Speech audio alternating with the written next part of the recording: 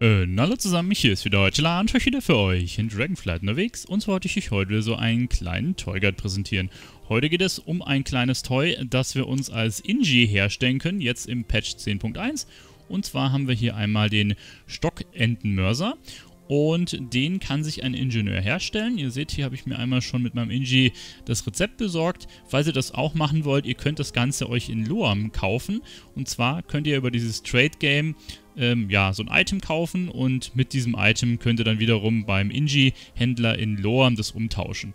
Ja, und dann könnt ihr das Teil craften. Wenn ihr kein Ingi habt oder jetzt nicht mit dem Trade Game anfangen möchtet, dann könnt ihr euch einfach das Teil auch von eurem Ingi des Vertrauens herstellen lassen oder das Ding sogar im Auktionshaus kaufen.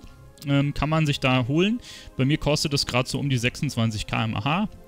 Und die Herstellkosten sind relativ gering. Das sind die 0815 Inji-Materialien, so 2000 sind es aktuell. Ich habe mir jetzt auch gerade ein paar hergestellt, werde die jetzt mal ins Sahar setzen. Vielleicht kann man da sogar auch ein bisschen Gewinn noch mitmachen. Gut, so viel zu dem Toy, wo er das herkriegt.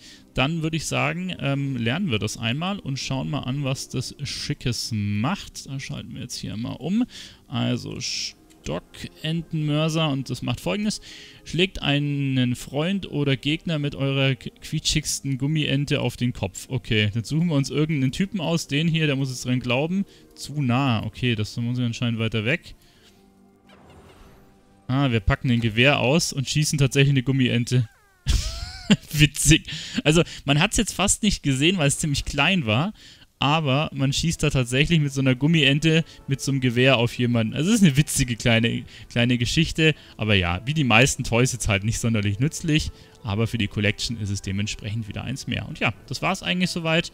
Äh, schaut einfach, wenn ihr kein Inji habt, im Aha. Da könnt ihr es, denke ich mal, günstig kaufen oder euch von jemandem craften lassen. Wenn ihr, wie gesagt, das Rezept haben wollt, dann ähm, ist das hier einmal unten. Ähm, in Loam haben wir ja hier bei diesem Kollegen mit dem ähm, Tauschsystem, ne, die Möglichkeit, dass wir ein Item kaufen können und mit dem können wir hier das bei dem Inji-Händler einfach umtauschen und kriegen das Rezept. Das steht aber auch dabei, wo ihr das kriegt.